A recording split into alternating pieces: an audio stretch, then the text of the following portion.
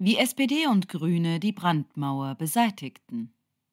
Von Hubertus Knabe. Sozialdemokraten und Grüne verlangen von der CDU, nicht mit der AfD zusammenzuarbeiten. Dabei haben sie selber keine Skrupel gezeigt, mit Extremisten zu koalieren. Berliner kennen den Begriff seit langem.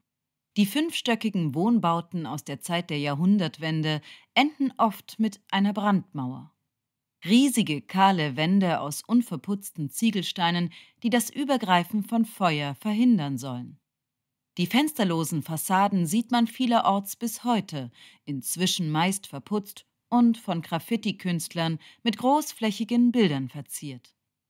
Im politischen Sprachgebrauch kann von einer solchen Verschönerung bislang keine Rede sein. Im Gegenteil. Das Wort von der Brandmauer wird stets aggressiv und alarmierend vorgetragen. Es suggeriert, dass es im Lande brennt und man sich vor den Flammen durch eine unüberwindliche Wand schützen müsse. Das Feuer ist die AfD, die in Umfragen bis vor kurzem die zweitstärkste Partei Deutschlands war. Die Forderung, eine Brandmauer zur AfD zu errichten, zielt vor allem auf die CDU. Denn in den meisten deutschen Parlamenten sind die linken Parteien in der Minderheit. Nur wenn CDU und AfD nicht zusammengehen, ist gewährleistet, dass SPD, Grüne und Linkspartei nicht allesamt auf der Oppositionsbank landen. Vor 20 Jahren gab es schon einmal eine solche Konstellation, allerdings auf der anderen Seite des politischen Spektrums. In mehreren ostdeutschen Landtagen hatten linke Parteien damals eine Mehrheit, die aber nicht zum Zuge kam, weil eine Brandmauer dies verhinderte. Es ist Zeit, in Erinnerung zu rufen, wie SPD und Grüne diese Mauer zum Einsturz brachten und welche Folgen das hatte.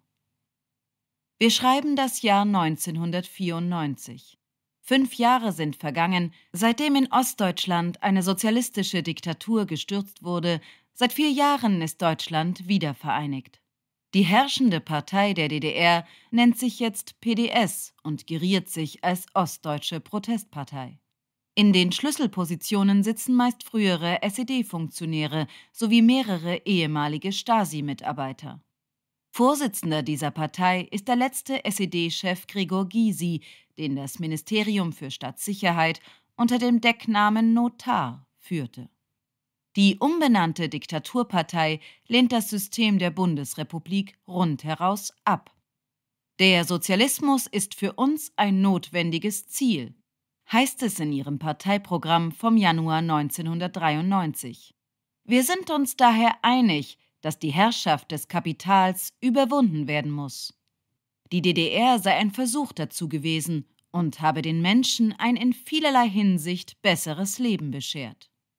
Zu ihren Erfahrungen zählen die Beseitigung von Arbeitslosigkeit, weitgehende Überwindung von Armut, ein umfassendes soziales Sicherungssystem, bedeutende Elemente sozialer Gerechtigkeit, insbesondere ein hohes Maß an sozialer Chancengleichheit im Bildungs- und Gesundheitswesen sowie in der Kultur, neue Rechte für Frauen und Jugendliche. Im Januar 1995 bekräftigt ein Parteitag diese Positionen. Er verabschiedet ein Fünf-Punkte-Papier, in dem es heißt, dass die PDS in prinzipieller Opposition zu den herrschenden gesellschaftlichen Verhältnissen in der Bundesrepublik Deutschland stehe. In deren Mitgliederzeitschrift schreibt der PDS-Fraktionschef im Berliner Abgeordnetenhaus Peter Rudolf Zotel, viele Bürger im Osten wollten die Brechung der Parteienherrschaft. Er ist SED-Mitglied seit 1964 und war Dozent an der Akademie für Gesellschaftswissenschaften beim Zentralkomitee. Wegen ihrer politischen Ausrichtung ist die PDS ein Fall für den Verfassungsschutz. Das Bundesamt widmet ihr in seinem Bericht über das Jahr 1994 mehrere Seiten. Zur Bundestagswahl, so erfährt man dort, seien etwa 50 Personen aus linksextremistischen Organisationen auf offenen Listen oder als Direktkandidaten der PDS angetreten. Bei der Europawahl habe für sie sogar ein Mitglied des DKP-Parteivorstands kandidiert. Drei frühere DKP-Aktivisten seien über Landeslisten in den Bundestag eingezogen. Insgesamt ergeben sich aus einer Reihe von Zielsetzungen der Partei und programmatischen Aussagen bis in die Parteispitze tatsächliche Anhaltspunkte für linksextremistische Bestrebungen der Gesamtpartei. Als linksextremistisch wertet der Verfassungsschutz insbesondere die kommunistische Plattform in der PDS KPF. Die etwa 5000 Mitglieder umfassende Organisation sei in fast allen wichtigen Parteigremien vertreten, auch im Parteivorstand. Dort sitzt die Hardcore-Kommunistin Sarah Wagenknecht, die damals als Sprecherin der KPF fungiert. In einer Selbstdarstellung, so der Verfassungsschutz weiter, habe die KPF erklärt, Grundlage ihrer Politik sei der wissenschaftliche Kommunismus, wie er durch Lenin, Trotzki oder Mao Zedong weiterentwickelt worden sei. Ziel sei die revolutionäre Transformation der Bundesrepublik in eine klassenlose Gesellschaft. Die im Bundestag vertretenen Parteien sind sich einig, dass man mit einer solchen Truppe nicht zusammenarbeiten darf. Sorge bereiten jedoch deren Wahlerfolge in Ostdeutschland. Bei den Landtagswahlen 1994 erzielt sie zwischen 16,5 in Sachsen und 22,7 in Mecklenburg-Vorpommern Prozent. Hauptleidtragende ist die SPD, die bis auf Brandenburg nur noch auf Platz 2 in der Wählergunst kommt. Für sie ist die Entwicklung besonders schmerzhaft, weil ihre Gründer aus der DDR-Bürgerrechtsbewegung stammen und die SED früher tausende Sozialdemokraten ins Gefängnis warf. In einer Dresdner Erklärung bekräftigen die ostdeutschen SPD-Chefs deshalb im August 1994, die PDS ist ein politischer Konkurrent und Gegner der SPD. Eine Zusammenarbeit mit ihr kommt für uns nicht in Frage. Auch der Bundesvorstand der SPD ist dieser Meinung. Im Dezember 1994 erklärt er, Koalitionen auf Landes- oder Bundesebene mit der PDS kommen nicht in Betracht. Nicht einmal in der Opposition will man mit ihr etwas zu tun haben. Wo die SPD an der Regierung beteiligt ist, ist die PDS in der Opposition. Wo die SPD selber in der Opposition ist, gibt es keine Koalition in der Opposition. Nach den Erfolgen der PDS bei den Landtagswahlen 1994 bröckelt jedoch die Front der Ablehnung. Ehemalige Bürgerrechtler wie Markus Meckel oder Stefan Hilfsberg haben in der Ost-SPD immer weniger zu sagen. Stattdessen geben zunehmend Karrieristen den Ton an. Diese wollen an die Macht und nicht länger nur Juniorpartner der CDU sein. Doch sie können nur dann den Ministerpräsidenten stellen, wenn die PDS ihn unterstützt. Genau das findet im Juli 1994 in Sachsen-Anhalt statt. Die SPD liegt mit 34 Prozent der Stimmen knapp hinter der CDU. Obwohl SPD-Fraktionschef Reinhard Höppner vor den Wahlen erklärt hat, sich eine Tolerierung durch die PDS nicht vorstellen zu können, bildet er jetzt mit Hilfe der PDS eine rot-grüne Minderheitsregierung. Das sogenannte Magdeburger Modell rechtfertigt er damit, die PDS durch ihre partielle Einbindung zu entzaubern. Anfangs versuchen SPD und Grüne, die Zusammenarbeit mit der PDS zu kaschieren. Offiziell gilt die Partei im Landtag als Opposition. Doch bei einem Misstrauensvotum gegen Höppner hilft sie ihm 1996 erneut, im Amt zu bleiben. Die CDU ruft deshalb das Landesverfassungsgericht an, damit der PDS der Status als Oppositionspartei aberkannt wird. Die SPD beteuert jedoch, es hätte keinerlei Absprachen gegeben. In Mecklenburg-Vorpommern herrscht 1994 eine ähnliche Lage. Nach den Landtagswahlen im Oktober kündigt SPD-Spitzenkandidat Harald Ringstorff an, Sondierungsgespräche mit der PDS zu führen, um sich von ihr zum Ministerpräsidenten wählen zu lassen. Doch SPD-Chef Rudolf Scharping droht ihm mit Parteiausschluss. Zwei Jahre später nimmt Ringstorff einen zweiten Anlauf, sich von der PDS zum Regierungschef küren zu lassen. Diesmal interveniert NRW-Regierungschef Johannes Rau und Bundesgeschäftsführer Franz Müntefering pfeift die Genossen im Norden zurück. Treibende Kraft beim Abriss der Brandmauer ist, neben Höppner und Ringstorff, der stellvertretende SPD-Vorsitzende Wolfgang Thierse. Er schreibt 1994 an SPD-Parteichef Rudolf Scharping, dass die PDS auf kommunaler Ebene als Partner unvermeidbar sei. Sie agiert dabei sachlich, pragmatisch, bürgernah mit Dienstleistungscharakter. In einem vertraulichen Brief an die thüringische SPD-Fraktion, der aus Versehen bei Bündnis 90 landet, meint er, die Ausgrenzung der PDS beleidige nahezu jeden ehemaligen DDR-Bürger. 1996 tritt Thierse auch auf Landesebene für Koalitionen ein. In einem Thesenpapier für ein Treffen ostdeutscher Sozialdemokraten schreibt er, die SPD könne einer Zusammenarbeit mit der PDS nicht ausweichen, wenn und insofern sie damit den politischen Auftrag ihrer Wählerinnen und Wähler erfüllt.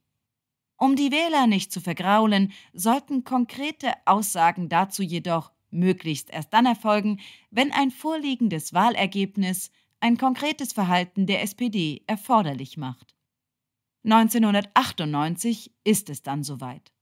Nach den Landtagswahlen in Sachsen-Anhalt im April 1998 erklärt Höppner unverblümt, die PDS steht, das ist meine Überzeugung, auf dem Boden des Grundgesetzes. Wenig später bildet er mit ihrer Hilfe eine SPD-Minderheitsregierung.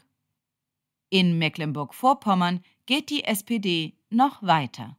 Bereits während der Koalition mit der CDU stimmt sie immer häufiger mit der PDS gegen ihren Regierungspartner. Nach den Wahlen im September vereinbart Ringstorff dann mit PDS-Chef Helmut Holter die erste rot-rote Koalition Deutschlands. Holter studierte an der Parteihochschule der KPDSU und war in der DDR Mitarbeiter der SED-Bezirksleitung Neubrandenburg. Von der Brandmauer ist danach nicht mehr viel übrig. 2001 lässt sich auch der Berliner SPD-Fraktionschef Klaus Wowereit mit Hilfe der PDS zum regierenden Bürgermeister wählen. Nach vier Monaten Tolerierung bildet er in der einstigen Mauerstadt die zweite rot-rote Koalition. 2009 folgt Brandenburg unter Matthias Platzek. Seine Verhandlungspartnerin ist diesmal Kerstin Kaiser, eine ehemalige Mitarbeiterin der Parteischule beim Zentralkomitee, die während ihres Studiums in Leningrad für die Stasi spitzelte. Reste der Brandmauer existieren jetzt nur noch in Westdeutschland. Als die hessische SPD-Chefin Andrea Ypsilanti nach den Landtagswahlen 2008 wie in Sachsen-Anhalt eine rot-grüne Minderheitsregierung bilden will, scheitert sie. Vier SPD-Abgeordnete erklären vor der geplanten Wahl, gegen sie stimmen zu wollen. Ypsilanti bläst das Vorhaben ab und tritt zurück. In der Folgezeit gibt es für die SPD-Führung nur noch einen Grund, nicht mit den SED-Erben zusammenzuarbeiten. Oskar Lafontaine, der einst geliebte, dann gehasste ehemalige SPD-Parteichef. 1995 stürzte er Rudolf Scharping, um 1999 überraschend alle Ämter niederzulegen und schließlich Gysis Partei beizutreten, die sich dafür in Die Linke umbenannte. Doch nach Lafontaines Rücktritt als Partei- und Fraktionschef der Linken gibt es keine Hindernisse mehr. 2014 brechen SPD und Grüne ein letztes Tabu. Mit Bodo Ramelow wählen sie in Thüringen erstmals einen linken Politiker zum Regierungschef. Fünf Jahre später erklärt SPD-Generalsekretärin Andrea Nahles, ihre Partei sei nun auch auf Bundesebene zu einer Koalition bereit. Wir öffnen uns nicht gegenüber der Linkspartei, sondern positionieren uns selbstbewusst und sagen, dass wir keine Ausschließeritis mehr wollen. Wenig später bilden SPD und Grüne in Bremen die erste rot-rot-grüne Koalition in Westdeutschland. Die Geschichte, wie SPD und Grüne die Brandmauer gegenüber den SED-Erben einrissen, ist damit fast zu Ende erzählt. Bleibt noch die Frage nach den Folgen. Anders als Kritiker befürchteten, hat sich das politische System der Bundesrepublik als stabil erwiesen. Selbst in Thüringen ist der Sozialismus nicht zurückgekehrt. Die Postkommunisten sind vielmehr Teil des politischen Establishments geworden. Die Sachzwänge beim Regieren und die Fleischtöpfe der Macht haben sie pragmatischer gemacht, sodass sie sich von SPD und Grünen kaum mehr unterscheiden. Und noch etwas ist eingetreten. Dort, wo PDS und Linke mitregierten, haben sie fast immer herbe Stimmverluste erlitten. Bei den Bundestagswahlen 2002 und 2021 scheiterten sie an der 5-Prozent-Hürde. Für Protestwähler ist die Partei nicht mehr interessant. Nach der jüngsten Umfrage liegt die Linke derzeit bundesweit bei nur noch 3,5 Prozent. Vielleicht ist das ja auch das Schicksal der AfD, wenn die CDU, wie einst SPD und Grüne, die vielbeschworene Brandmauer irgendwann einmal einreißen sollte.